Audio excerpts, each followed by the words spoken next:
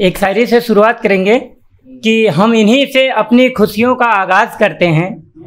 हम इन्हीं से अपनी खुशियों का आगाज़ करते हैं। हम इन्हीं से अपना कल और इन्हीं से हम अपना आज करते हैं। और दो लोग कहते हैं कि दोस्त बड़े मतलबी होते हैं तो सुनो। लोग कहते हैं कि दोस्त बड़े मतलबी होते हैं तो सुनो। हम अपने इन्हीं मतलबी दोस्तों पर ही नाच करते हैं। तो देखिए अभी भैया बता रहे थे कि हम कभी नहीं हैं और हम बताते हैं कि कभी जीवन आसान नहीं है। है ना? तो अ, मैंने लिखी है कुछ कविताएँ लिखी हैं। मैं शायरी नहीं लिखता हूँ अधिकतर शायरियाँ बहुत कम लिखा करता हूँ। ये है कविता है हमारी आप लोग सुनिएगा कि कभी जीवन आसान नहीं ये सबके बस का काम नहीं। कभी जीवन आसान नहीं ये सबके बस का काम नहीं। एक शब्द को जोड़ने के लिए हमें कई बार टूटना पड़ता है। एक लाइन को जोड़ने के लिए हमें कई बार टूटना पड़ता है। फिजा में नई बहार लाने को शाखों से छूटना पड़ता है। फिजा में नई बहार लाने को शाखों से छूटना पड़ता है और गैरों को खुश करने के लिए परिवार छोड़ना पड़ता है। क्योंकि हम छोड़ के चले आते हैं, हम यहाँ आए, लोगों के साथ मौज मस्ती कर रहे हैं। कि गैरों को खुश करने के लिए परिवार छोड़ना पड़ता है सबकी महफिल आपकी महफिल सजाने को त्योहार छोड़ना पड़ता है। होली को हम होली मिलन समारोह में होते हैं। हमको पता नहीं हमारे घर में कौन आया था। और निकल गए जब गाँव छोड़कर निकल गए जब गाँव छोड़कर तो गाँव को कविताओं में याद किया करते। निकल गए जब गाँव छोड़कर, गाँव को कविताओं में याद किया करते और कभी कभी दस बारह दिन तक बिन परिवार को देखे रहा करते। कभी कभी दस बारह दिन तक बिन परिवार को देखे रहा करते और अपनी जीवन की गाथा को कविताओं में कह देते हैं। अपने जीवन की गाथा को कविताओं में कह देते हैं, कोई भी हो परिस्थिति भले हर हाल में सह लेते हैं। कोई भी हो, परिस्थिति भले, हर हाल में सह लेते हैं और कभी कभी अपनों के बीच कभी कभी अपनों के बीच हम काफिर तक बन जाते हैं। कभी कभी अपनों के बीच हम काफिर तक बन जाते हैं, अनवरत चलते रहते निस्दिन तभी मुसाफिर कहलाते हैं।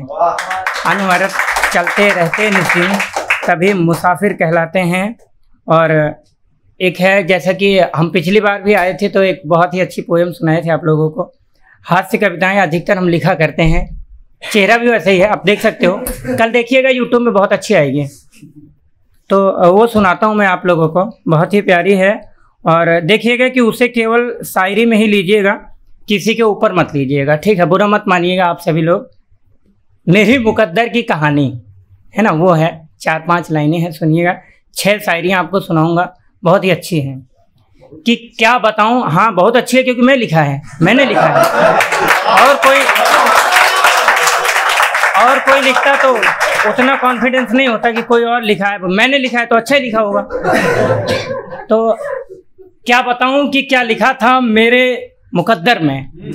क्या बताऊँ क्या बताऊँ कि क्या लिखा था मेरे मुकद्दर में? खुशियाँ ही नहीं दी उस जालिम सितमगर ने।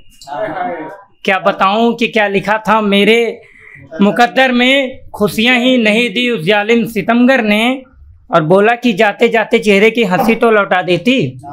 बोला कि जाते जाते चेहरे की हँसी तो लौटा देती। बोली कि बाबू, अब मिलेंगे अगले दिसंबर में। बोला कि बाबू, अब मिलेंगे अगले दिसंबर में। और दिसंबर का वादा देकर भैया, वो ना आई ढाई साल। दिसंबर का दिसंबर का वादा देकर, भैया, वो ना आई ढाई साल, और जब आई तो उसके साथ था उसका खटाई लाल। दिसंबर का वादा देकर, वो ना आई ढाई साल, जब वापस आई तो उसके साथ था उसका खटाई लाल। मैं बोला कि, पगली, तू तो बड़ी बेवफा निकली। मैं बोला मैं बोला कि पगली, तू तो बड़ी बेवफा निकली। बोली कि, पागल, डबल हो गई हूँ, पहले चारपाई निकाल। बो, बोली कि डबल हो गई हूँ अब चारपाई निकाल। अब बैठ करके अपने पास में वो किस्सा सुनाने लगी। मजबूरी भैया ये हो गया था वो हो गया था क्या करें फ़ोन नहीं कर पाया। बैठ करके बैठ करके पास वो अपना किस्सा सुनाना सुनाने लगी। बीच बीच में बेहया वो नज़रें चुराने लगी। और बोला कि आँखों में आँखें डालकर बात कर। बोला बोला कि आँखों में आँखें डालकर बात कर। बोले कि इतनी दूर से आई हूँ, एनर्जी खत्म है। मुझे भूख सताने लगी। पहले कुछ खाने को दीजिए। अब मेरे हसीन सपनों को वो गमगीन बना गई। मेरे हसीन सपनों को वो गमगीन बना गई। अपने मासूमियत का किस्सा कुछ हसीन सुना गई। और जितना पैसा तो भैया उसके महबूबा रहते मैंने नहीं उड़ाया था।